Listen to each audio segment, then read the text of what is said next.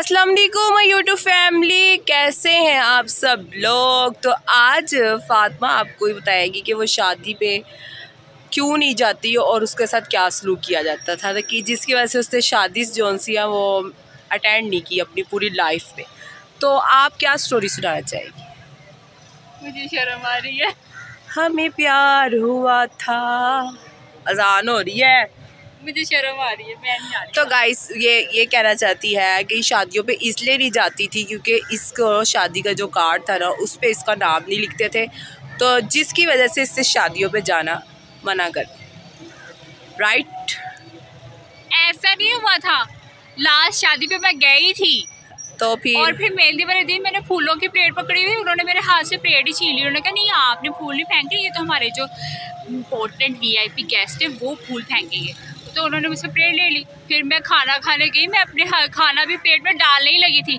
साथ ही एक घंटी आ गई और मुझे कहती बेटा तुम्हारा वेट बहुत ज़्यादा है तुम ना ही खाओ तो बेहतर तुम ऐसे सलूक करते हैं शादियों शादी पे गई शादियों पे ऐसे ही सलूक करना तो फिर मैं नहीं आ रही किसी भी शादी पे। नहीं तो मुझे तुम शादी पे गई थी या फाके करने गई थी? या रोज़े रखने गई थी? मुझे ऐसे ही लग रहा है। शादी पे स्पेशल मुझे मुझे जलील करने के लिए बुलाया गया था इसलिए मैंने शादियों पे जाना छोड़ दिया। भाई इज़्ज़त भी होती है मेरा कोई नाम है मेरा कोई फेम है मेरी कोई इज़्ज़त है। और हर शादी में मुझे जलील करने के लिए बुला लिया। खाना तक नहीं खिलाया। कितनी गलत बात है कितनी गलत बात है तो बतो बतो। जब आप लोगों के वीआईपी लोगों ने आगे आगे वाली कुर्सियों पर बैठना है और फूल फेंकने और स्टेज पे भी उन्होंने चढ़ना और तस्वीरें भी उन्होंने खिंचवानी है तो मुझे क्यों आप इनवाइट करते हैं? मैं नहीं आ रही। और इस दफ़ा तो उन्होंने इतना इतना बड़ा कार्ड भेजा था इतना बड़ा इधर भी एक प्लाट खाली था इधर भी एक प्लाट खाली था कहीं तो मेरा नाम लिख देते लेकिन नहीं। पूरे कार्ड पे मेरा नाम नहीं लिखा हुआ था। तो मैं मैं क्या करती? मुझे सारी दुनिया ने समझाया, मत जाना। अगर तुम्हें इज़्ज़त अर्न करनी है ना तो तुम मत जाना। मैंने दुनिया की बात मान ली। दुनिया कहते हैं, ऐसी शादी पे जानी चाहिए जहाँ पे कार्ड पे नाम ही ना मेंशन किया हो। और पिछली शादी का सलूक कुछ याद करके ना, मुझे थोड़ी बहुत अक्ल आ गई तो मैंने छोड़ दिया इन शादियों में जाना।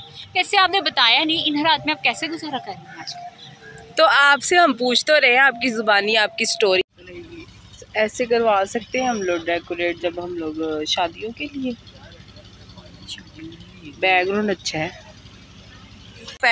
फाइनली मेहंदी पे पहुँच चुके हैं और मैंने तो अभी अंदर जाके तैयार होना है और मैं अभी तैयार नहीं हूँ बिल्कुल भी और फातिमा को तो आप लोग देख सकते हैं कि इसने मेहंदी लगवा ली है और अपनी मेहंदी दिखाना चाह रही है आपको और वो भी मुझ पा के। तो आप सलाम भी ले लो व्यूवर्स से। सलाम नहीं लेना? क्यों? तो गाइज़ आप लोगों ने इसको बिल्कुल भी लाइक नहीं ना किया तो इस वजह से आप लोगों को सलाम नहीं कह रही। ये तो बुरी बात है सलाम लेना चाहिए। तो अभी मैंने मेकअप का ट्यूटोरियल भी आप लोगों से शेयर करना है तो चलते हैं अंदर और मेकअप भी करवाते हैं। लुक थोड़ी सी अपनी चेंज करवाते हैं। तो मेहंदी के लिए तो ये स्टेज है। स्टेज आप लोग देख लें कितना प्यारा है और जल्दी से जाते हैं। मैं मायसी बनी हुई मुझे अपना बड़ा बुरा लग रहा है। तो जल्दी जाते हैं क्विक सी ट्रांसैक्शन करते हैं और अपनी वीडियो बनाते हैं।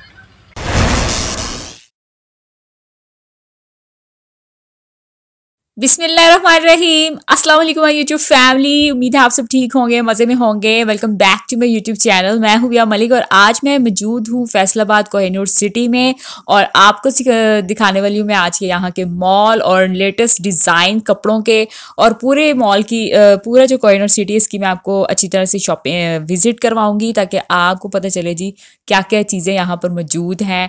आप जब यहाँ पर आएँ तो ईज़िली जो है वो आप यहाँ पर घूम फिर सकें और इंजॉय करें। तो जो लोग मेरे चैनल पर न्यू है, उनसे मेरी रिक्वेस्ट है please subscribe my channel and press bell icon ताकि आपको मेरी आने वाली हर नई वीडियो की नोटिफिकेशन सबसे पहले आपको मिले और आप मेरे चैनल के साथ इसी तरह अप टू डेट ट्रैक करते रहें। तो व्यूवर्स आज मेरे एक बहुत ही one of the best viewers हैं, जिनके आज बर्थडे है उनका नाम है अवैस। तो happy birthday Awais.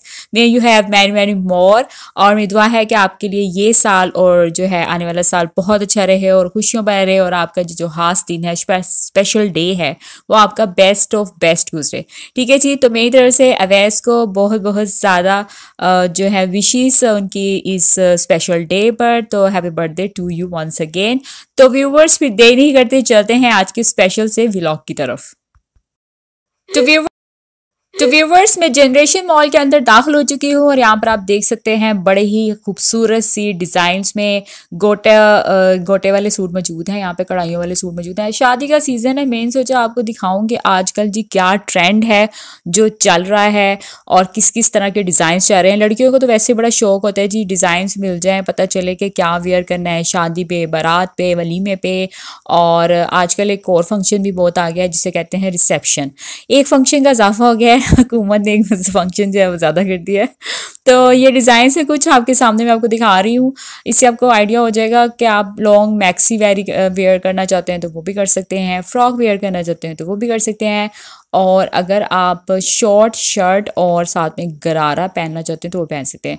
तो व्यूवर्स मैं आप लोगों को ये बताऊँ कि जिनकी हाइट छोटी होती है वो लॉन्ग मैक्सी वेयर करें और जो ज़रा लंबी हाइट के होते हैं वो भी अपने हिसाब किताब से कपड़े पहन लें।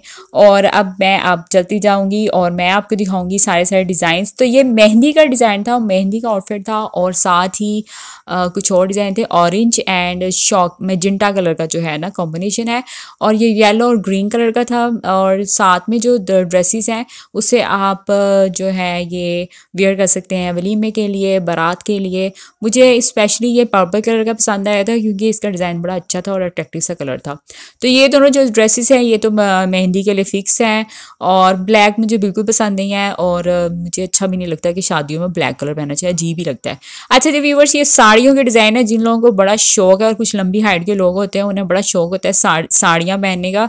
तो ये कुछ डिज़ाइन है लेटेस्ट और कुछ लोग मैरिड होते हैं तो वो ये हैवी हैवी साड़ियाँ पहने, लेकिन जो मैरिड नहीं है, जो जो अभी सिंगल्स हैं, उनको मैं प्रेफर करूँगी कि लाइट सी ना साड़ियाँ वगैरह पहने और साड़ी ना ही पहने तो ज़्यादा बेटर होगा। अच्छा जी व्यूवर्स ये आप ड्रेसेस देख सकते हैं। ये भी बड़ा ही प्यारा सा फ्रॉक था और कम्बिनेशन अच्छा था बट ये शादी में नहीं पहनिएगा। बिल्कुल अच्छा नहीं लगता। मैं साथ साथ रिव्यू इसलिए दे रही हूँ ताकि आपको पता चलता रहे कि जब वेडिंग आप अटेंड करने चाहते हैं तो कौन से कलर हैं जो आपको पिक करने चाहिए और कौन से कलर आपको पहनने चाहिए। खास तौर पे जिनका कलर डार्क होता है, वो लोग ऐसे कलर पहने जो डार्क कलर के ही यूज़ करें क्योंकि शादियों में तो डार्क कलर ही अच्छे लगते हैं। लाइट कलर तो बहुत ही बुरे लगते हैं। अच्छा जी, ये ब्लैक ये बड़ा ही प्यारा सा कलर था, उस कलर में मैक्सी थी और ये फ्रॉक था रेड कलर का। बड़ा ही खूबसूरत सा था, जिसका रंग बड़ा गोरा हो, वो ये पहने। और ये भी साड़ियाँ ही हैं, लेकिन ये साड़ियाँ वो हैं जो ये हैवी साड़ी थी, ठीक है? ये शादीशुदा लोगों को मैं रिकमेंड करूँगी। और जो लोग अनमेरिड हैं, वो ये साथ वाली जो बिल्कुल सिंपल सी साड़ी है, वो पहने, ठीक है जी? तो मैं सोची थी पूरी मार्केट में घूम के आपको सारे सारे डिज़ाइन सिखा दूँ, आपको आइडिया हो जाए कि यहाँ पे जी कहाँ, कैसे कैसे कपड़े अवेलेबल हैं। बड़े ही मुनासिब रेंज में मौजूद हैं यहाँ पर कपड़े, आप ज़रूर इसको विज़िट कीजिएगा। ज़्यादा कपड़े महँगे नहीं थे और मतलब कि रेंज इनकी बड़ी ही कम थी। तो लेकिन आप खुद से विज़िट कीजिएगा स्टफ़ को चेक कीजिएगा, क्योंकि स्टफ़ का रिव्यू मैं आपको नहीं दूँगी। आप खुद आइएगा, खुद चेक कीजिएगा, खुद पसंद कीजिएगा, ताकि आपको पता चले यहाँ पर कैसा स्टफ़ मौजूद है। वैसे तो ये सारे के सारे मेरी तरफ़ से हंड्रेड परसेंट रिकमेंडेड हैं। आप आएँ, इसको विज़िट करें और जो भी आप लेना चाहते हैं ना, ले लीजिएगा, ठीक है जी? प्राइस बहुत ही मुनासिब थी। सेल लगी हुई थी और सेल लगाई हुई ऑलमोस्ट इन्होंने, यहाँ पर सेल चल रही है। जाएँ और टूट पड़ें और इस सेल को अवेल कीजिए अगर कोई शादी वगैरह नज़दीक आ रही है तो। तो लाइट कलर भी मौजूद है डार्क कलर मौजूद है फ्रॉक भी, हर तरह का ट्रेंड मौजूद था, बड़े बाजू, छोटे बाजू आपने देख लिया होगा, पीछे सेल का बैनर गुजर चुका है। तो सेल लगी हुई है, आप यहाँ जाएँ और ग्रैब करें इस सेल को और जो आप ख़रीदना चाहते हैं, खरीद सकते हैं। ये मैक्सी मैक्सी थी यहाँ पे और मुझे बड़ी पसंद आई थी खास तौर पर डार्क ब्लू वाली। अच्छा जी फ्रॉक यहाँ पे हर तरह का जो ड्रेस है मौजूद था शॉर्ट फ्रॉक भी मौजूद है और लॉन्ग भी मौजूद है शर्टिस भी शॉर्ट मौजूद है लॉन्ग शर्ट भी मौजूद है। इसके अलावा आप ऑर्डर पे भी यहाँ पर अपना ड्रेस जो है वो बनवा सकते हैं। फ्रॉक्स भी मौजूद हैं, जो भी आपको पसंद है, जो आपको अच्छा लगता है, आप यहाँ पर जाकर जो है वो ख़रीद सकते हैं और चाहे तो ऑर्डर भी कर सकते हैं। अच्छा जी, आप देख सकते होंगे, ये हमारे आगे आगे खजीना चल रही है। हम इसके पीछे पीछे जाते हैं और देखते हैं जी क्या हो रहा है। ज्वेलरी मैं आपको लास्ट व्लॉग में दिखा चुकी हूँ तो मैंने सोचा इसमें मत दिखाऊँ। अच्छा जी, यहाँ पे फ्रॉक्स हैं, मेहंदी, बारात, वलीमा, हर तरह का यहाँ पे ना जी, हर हर ट्रेंड के कपड़े पूरा, पूरे का पूरा जो मॉल था, उसमें इसी तरह की जो हैवी हैवी ड्रेसेस होते हैं अवेलेबल थे। तो यहाँ पे जो यहाँ का रेड ये जो रेड वाला सूट था, ये मुझे बहुत ही पसंद आया था। मेरा दिल किया कि मैं ले लूँ बट फिर मैंने सोचा रहने देते हैं। अच्छा सेल लगी हुई है, ये मैंने आपको दिखा दिया। आप जाएँ सेल को सेल लगी हुई है मार्केट में और इन्जॉय करें। और मेरा हाल तो ये था कि पैदल जा रही हूँ, सवारी चाहिए। जीवन के सफ़र में खिलाड़ी चाहिए। अकेली है मिसेस खिलाड़ी मिस्टर खिलाड़ी चाहिए। तो व्यूवर्स यहाँ पर लॉन्ग गोटे वाले जो होते हैं, गोटे वाले जो फ्रॉक मौजूद थे और ये तीनों के तीनों फ्रॉक बड़े ही अट्रैक्टिव लग रहे थे। खास तौर पे ये येलो वाला, जिन लोगों की शादियाँ हैं, वो ये खरीदें और अपनी मेहंदी में ये इसको शामिल कीजिए। अच्छा जी, आगे चलते हैं। ये सारे हैवी हैवी काम वाले सूट थे, लेकिन बड़ी ही मुनासिब रेंज में अवेलेबल हैं।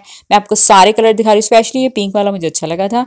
ब्लैक और बॉटल ग्रीन जो होता है, मैं आपको बिल्कुल रिकमेंड नहीं करूँगी। शादियों में ना, शौक कलर अच्छे लगते हैं, उससे क्या होता है, आपकी पर्सनैलिटी थोड़ी अट्रैक्टिव लगती है और आप दूसरे को भी बड़े अच्छे लगते हो और ग्रैब करते हुए भी नज़र आते हो। तो जो लोग ब्लैक खरीदते हैं, मैं उनको बिल्कुल कहूँगी कि ब्लैक और ये ब्लू डार्क ब्लू जो हो जाते थे बोटल कलर्स में जो भी आ जाते हैं, उनको मत खरीदें, वो कलर खरीदें जो अट्रैक्टिव से हों। ठीक है जी? तो जी, अब यहाँ पर ऑलमोस्ट पूरा मॉल जो है मैं विज़िट कर चुकी थी। सारे के सारा मॉल जो है विज़िट हो चुका है और ये मैं वापस आ गई घूम कर सारा मैंने घूम लिया और अच्छी तरह से जी मैंने विज़िट कर लिया था। और ये लास्ट में टू ड्रेसेस थे जो मुझे बड़े अच्छे लगे। ये मेहंदी को लेकर जी हैं डोलक, मेहंदी और या फिर जो होता है उपटन। उसमें भी आप ये वेयर कर सकते हैं, थोड़े हैवी हैं, दुल्हन ही पहने तो ज़्यादा अच्छी बात है, आप इतने हैवी ड्रेसेस मत खरीजिएगा पर जिनकी शादी होने वाली है, वो ये ड्रेसेस ले सकते हैं। बड़े ही प्यारे और खूबसूरत से ये दो ड्रेसेस थे। मैं सोचा आपको ये भी दिखा दूँ। तो जी मॉल यहाँ पर एंड हो चुका है और ऑलमोस्ट मैंने पूरे मॉल की आपको सैर करवा दी है। होप सो आपको मेरा आज का व्लॉग जो है वो पसंद आया होगा। प्लीज़ व्यूवर्स मुझे कमेंट सेक्शन के ज़रिए बताइएगा कि आपको मेरा आज का व्लॉग कैसे लगा है। तो मैं अब आपसे अलविदा लूँगी। मैं मिलूँगी आपसे अपनी एक नई वीडियो में। एक नई रेसिपी रेमेडी या फिर एक एक्साइटेड से व्लॉग के साथ। तो तब तक तब बहुत सारा ख्याल रखिएगा और मुझे अपनी दुआओं में रखिएगा याद। के के बाय अल्लाह हाफिज। Thank you viewers for your great love and support and viewers bye for now और जाने से पहले एक बार फिर से आपसे कहूँगी सब्सक्राइब है चैनल बाय